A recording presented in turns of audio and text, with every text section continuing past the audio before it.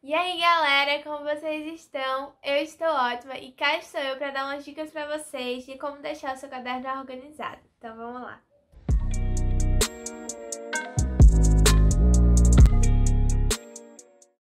Então, a primeira coisa que você precisa saber para deixar o seu caderno bonito e organizado o ano inteiro é saber que tipo de estudante você é. Você precisa saber se você é preguiçoso, se você gosta de copiar, de fazer resumo, se você copia na sala ou se você deixa para copiar em casa. Eu copiava de qualquer jeito, copiava na sala de qualquer jeito e quando chegava em casa eu passava limpo.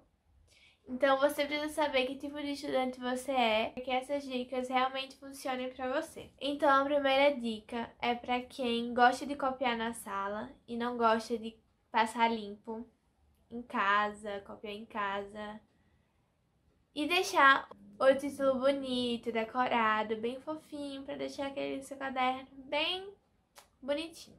Então, é o seguinte, o título, o subtítulo, os tópicos, você copia a lápis, porque é onde gasta mais tempo para decorar, enfim.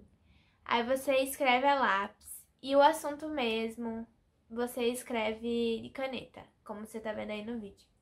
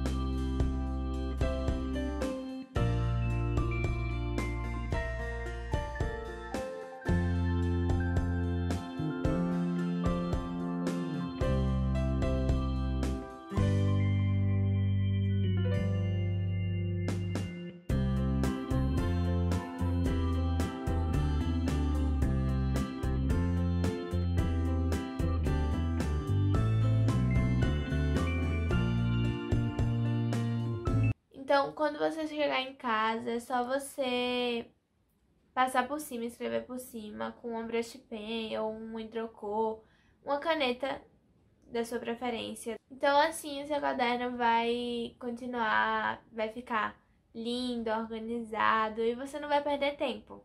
Então, a segunda dica vai para essas pessoas que não têm não tem paciência realmente de ficar escrevendo as coisas bonitinhas, enfim, não quer perder tempo. E também para as pessoas que não têm aquele dinheiro todo para comprar, pra comprar brush pen, é, essas canetas bonitinhas. Aí você, você, você usa uma caneta esferográfica colorida, tipo Bic ou compacto. A Bic tem várias, várias opções de cores para você usar, né? Aí você escreve é, com a caneta colorida os títulos, os tópicos, sub, sub, subtópicos é, e o assunto em si de caneta preta ou azul.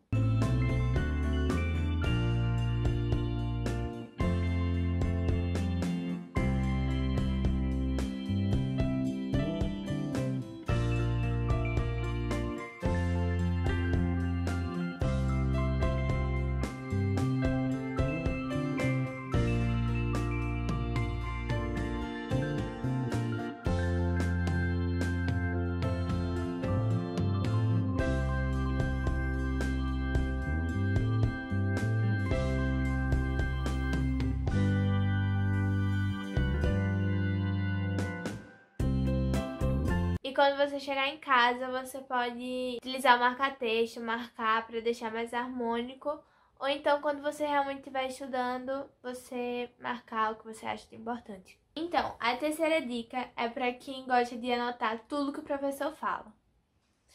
Então, eu pegava um bloquinho de folha de fichário e escrevia tudo, tudo que o professor falava. Não, não deixava arrumado. Não deixava arrumado nem nada, era só lápis mesmo. E quando eu chegava em casa, eu passava tudo a limpo, tudo bonitinho.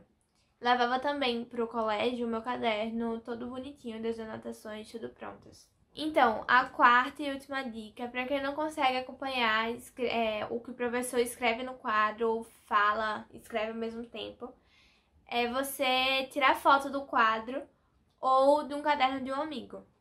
Se o colégio permitir, é claro, senão vocês vão levar uma suspensão e ó. Então, o meu método que eu consegui passar na, no colégio, graças a Deus eu passei, agora eu tô na faculdade, que é outra coisa, né?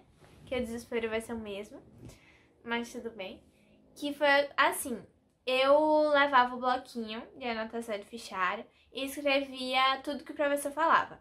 Mas tinha vezes que eu não conseguia acompanhar, então eu tirava foto do quadro ou do caderno de um amigo. E quando chegava em casa, eu passava limpo e fazia mais um resumo, que era o jeito que eu conseguia aprender, fixar melhor o assunto na minha cabeça. Então, testem esses métodos que vai valer super a pena, vocês vão conseguir passar.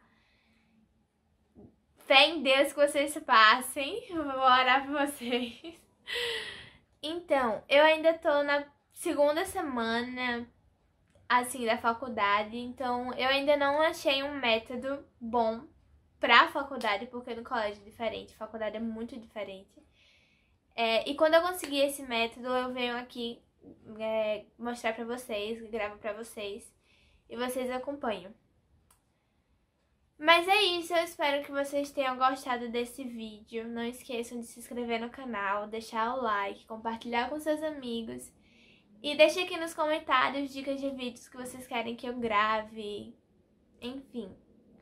Deem ideias porque eu não sou muito criativa, então eu preciso da criatividade de vocês pra ter o conteúdo pra vocês. E é isso, um big beijo e até a próxima. Tchau, tchau. Que nem uma vez já. É, e eu vou botar isso no vídeo. Mas é só chegar a parte e cortar testem todas as dicas, que foi assim que você conseguiu descobrir qual a melhor forma para você. Anotando. Testando, aí tentar eu ver... Eu posso dizer como foi que eu consegui passar? Você não já disse? Não. Eu, eu, eu, vou, eu, eu vou... já disse no vídeo. Mas deixa eu fazer de novo pra dar mais tempo. Tá bom? Não consegue acompanhar o ritmo do professor escrever e anotar o que ele fala, que fica meio perdido. Tirar foto na sala. É essa. Ou do,